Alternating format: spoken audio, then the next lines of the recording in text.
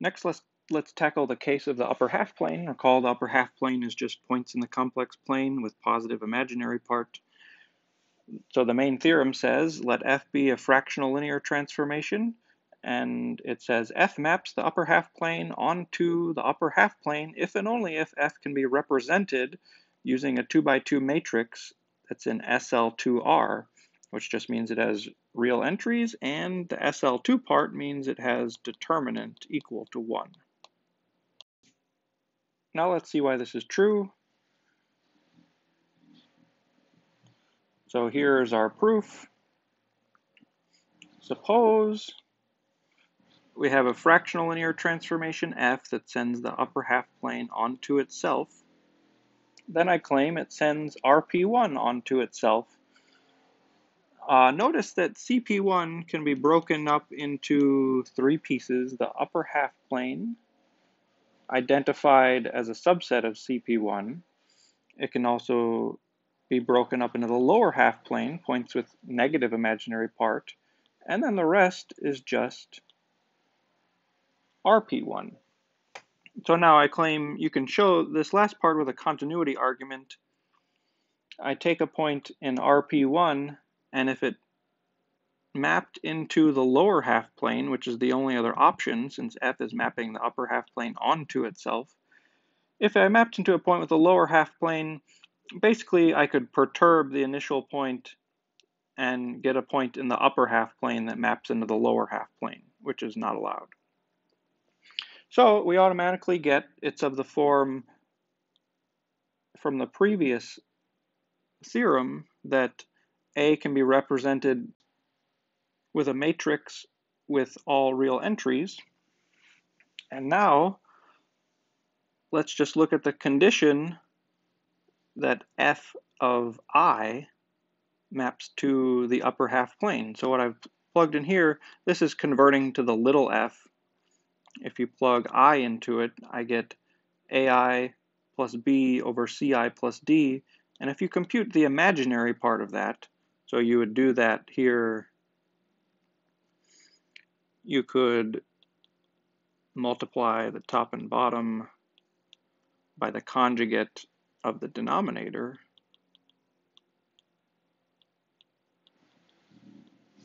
And when you take the imaginary part of this expression, you base you just pull out the AD minus BC.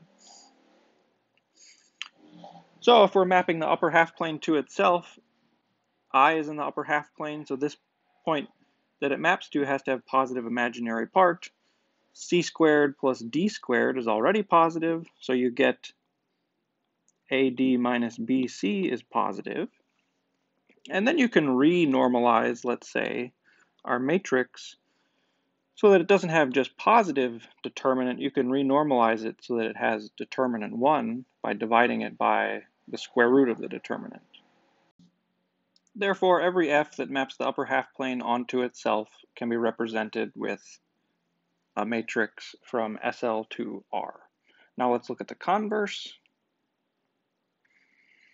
Conversely, if I have a fractional linear transformation represented with a matrix in SL2R, then by our previous material, it has to send RP1 onto RP1.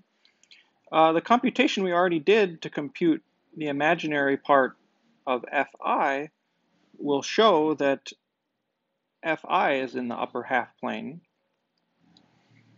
And so we know at least one point maps into the upper half plane, and you could convert this, you, could use a similar computation that might be more complicated to show that any point in the upper half plane mapped into the upper half plane, but you can also argue it by a continuity argument we know one point maps into the upper half plane, and I know we map RP1 onto RP1. If I happen to map a point from the upper half plane to the lower half plane, there'd be a problem because you could connect uh, those two points by a line, and then somewhere along the line you'd have to cross into RP1. So there's sort of a continuity argument which shows that F has to map the upper half plane into the upper half plane. You can argue similarly that f maps the lower half plane into the lower half plane and, and that forces f to map the upper half plane onto itself. So that proves the theorem. Let me just make a few more final observations about this result.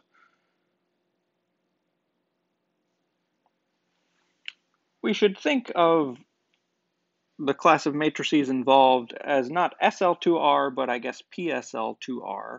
So note, if I have two matrices in SL2R, they're equivalent in PSL2C if and only if one is plus or minus the other. And, and these are the only ways to get non-uniqueness in our representations, again, if we restrict to matrices in SL2R.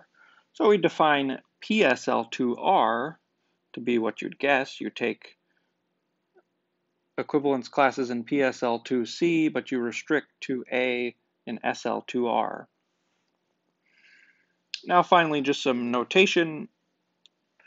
We'll call the automorphism group of the upper half plane the set of fractional linear transformations that sends the upper half plane onto itself. And so the theorem we've just proved shows that this automorphism group is isomorphic to PSL2R. One way to give a description of the fractional linear transformations that send the disk onto the disk is through the Cayley transform. And we may as well use this as an opportunity to prove some things we've claimed before about the Cayley transform. So here is the formula for it. I guess there are many transformations that go by this name. Basically any map that sends the disk onto the upper half plane will work, so there are lots of variations, or someone might refer to the inverse as the Cayley transform. In any case, we claim that this map sends the unit disk, so that's my notation D,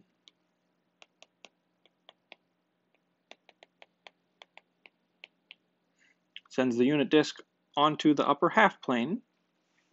And to prove that, I only actually need to look at a handful of points. So notice uh, 1 maps to infinity in this map, and i maps to minus 1, and minus 1 maps to 0. And I claim you can use that to show that C maps the unit circle onto RP1. Why is that? Well, the unit circle is a circle. Fractional linear transformations send them to lines in CP1. Uh, and I know that these three points are on that line in CP1. And I've shown that through any three points, there's a unique line in CP1 going through them. And RP1 goes through these three points. So we have to send the unit circle to RP1 under this map. Now you plug in 0 and get I. So C sends 0 into the upper half plane, and then we make another continuity argument to show that we map the unit disk onto the upper half plane. You could also argue using connectedness, but in any case, the point is if I had a point in the disk that mapped to the lower half plane, then you'd have a problem if you connect that point to zero on a line segment somewhere on the line segment C would have to map into RP1, and that would be a problem because it only sends the unit circle to RP1. You could make a similar argument for the complement of the closed disk within CP1 that it has to map into the lower half plane. So we get from this that the Cayley transform maps the disk onto the upper half plane. You also get kind of an isomorphism of automorphisms Automorphisms of the disk would refer to fractional linear transformations that send the unit disk onto itself, and this will be isomorphic to automorphisms of the upper half plane.